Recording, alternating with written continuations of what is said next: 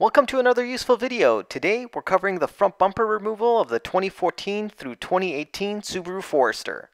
Hey Useful Videos family, please subscribe to my channel and hit that bell icon so you'll be notified whenever I upload a new buyer's guide or repair guide.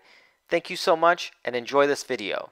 Start by opening the hood and looking at the top edge of the grille and you'll notice that there's six plastic rivet pop tabs that need to be popped open and then removed. These tabs pop open very easily and I didn't have to use a tool to open most of them.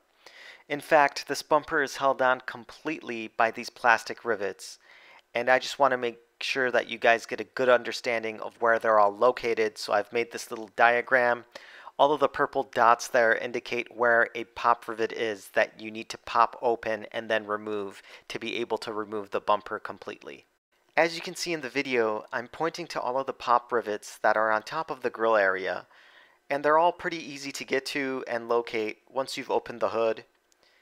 They pop open really easily, so what I did is popped all of them open and then completely removed them. I found that some of the pop rivets were harder to remove from their location than others. However, if they are giving you any trouble, you should be able to use a screwdriver or pair of pliers to remove them completely.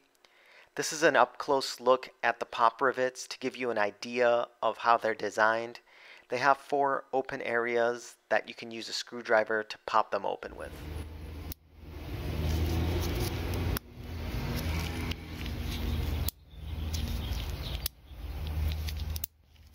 That pop noise will be a good indication that they've been opened up correctly and then you can just go ahead and remove them. This is the bird's eye view of me removing the rivets. There's also going to be one located inside the wheel liner. So when you look inside the wheel liner, it's kind of up and on that corner, and then you can just pop it out and remove it. There's also going to be some pop rivets on the bottom of the bumper, and here I am pointing to them. These are also easy to remove, just like the ones on top. Essentially, it's the same pop rivet, so you just open it up and then completely remove it. On the bottom of the bumper, there's a total of 8 rivets, and here I am showing you where they're all located. Essentially, the vehicle is very symmetric, so if you start on one side of the vehicle, the pop tabs are going to be pretty much exactly where the other ones are. Not too difficult to do, and here I am just removing them real quick.